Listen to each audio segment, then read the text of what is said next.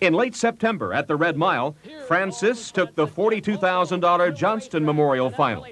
Winning by almost a length, she was timed in 158 and 2. Far outside, Frances Jet Boko trying. Armbro Jacuzzi inside. Frances Jet Boko outside. Frances Jet Boko gets up.